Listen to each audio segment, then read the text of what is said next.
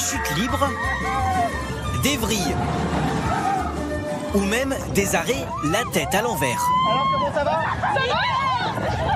Et toujours les mêmes réactions.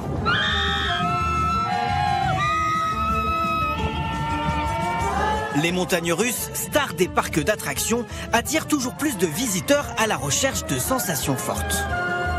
La vitesse, euh, tout quoi. À coût de millions d'euros, les grands parcs rivalisent entre eux et en installent de nouvelles tous les 3 à 5 ans. Alors pourquoi investir autant? Sont-ils sûrs de les rentabiliser? Vous allez le refaire ou pas? Non. Dans ce parc, c'est la nouvelle attraction à tester.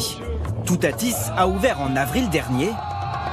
Premier essai pour Benjamin Francel. Des pointes à 110 km/h et jusqu'à 51 mètres de hauteur. Je suis décoiffé.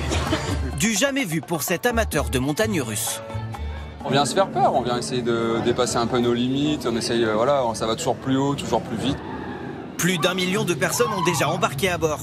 Alors côté sécurité, rien n'est laissé au hasard. Contrôle quotidien des harnais, de l'état des roues et de leur positionnement au millimètre près. Là par exemple, je suis parfait. En pleine saison, l'équipe de maintenance est présente 24 heures sur 24. La journée, on est là pour les interventions. À partir du moment où le parc est fermé, euh, c'est tout le temps qui nous est attribué pour faire toutes ces vérifications sur l'ensemble de nos trains et sur l'ensemble de nos attractions. Entretien, conception, construction et décoration, un budget colossal. 36 millions d'euros, le plus gros investissement de l'histoire du parc. Pas le choix, c'est indispensable pour se démarquer, reconnaît le directeur du groupe. Euh, Bien sûr qu'il y a une compétition, on est dans un secteur concurrentiel et il faut pouvoir offrir à nos visiteurs, chacun d'entre nous, chaque acteur, ce qu'il considère comme étant l'offre qui fera venir les gens. La compétition se joue à l'échelle du monde entier. Il faut innover à tout prix, alors chaque montagne russe est conçue sur mesure.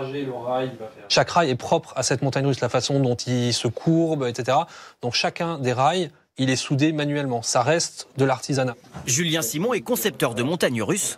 Pour s'inspirer, il en a testé près de 2000 dans 30 pays. Et voici son dernier projet.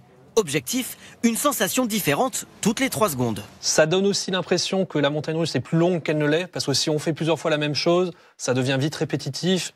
Et le voilà en vrai, en cours de construction dans ce parc en Isère. Vous en êtes fier de cette attraction?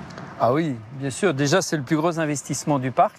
Ici, depuis 10 ans, 50 millions d'euros ont été investis pour doubler le nombre de montagnes russes. Et ça marche. 50% de visiteurs en plus et ils restent plus longtemps dans le parc. À l'époque, euh, un, vis- un visiteur restait en moyenne jusque oh, bon an, mal an, 8h, 8h20. Là, aujourd'hui, c'est pas loin de, pas loin de 10 heures en, en- en été. Et plus il reste, plus il consomme. Boutiques, coupe-fil ou encore photos-souvenirs. Les montagnes russes sont un produit d'appel. La famille de Linger a fait 3 heures de route depuis Arles.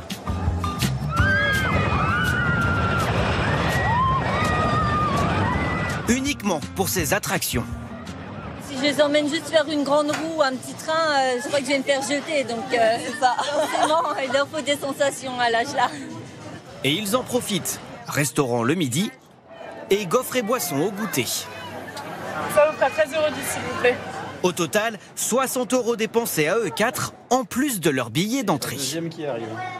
On rentre à une heure au parc, on sort à une heure et à l'intérieur, on y, vit en fait. On mange, on s'amuse, on plaisante, euh, on se retourne l'estomac et la tête en même temps, euh, on profite du parc. Pour élargir leur offre et attirer toujours plus de nouveaux clients, les parcs investissent chaque année en moyenne 20% de leur chiffre d'affaires dans de nouvelles attractions.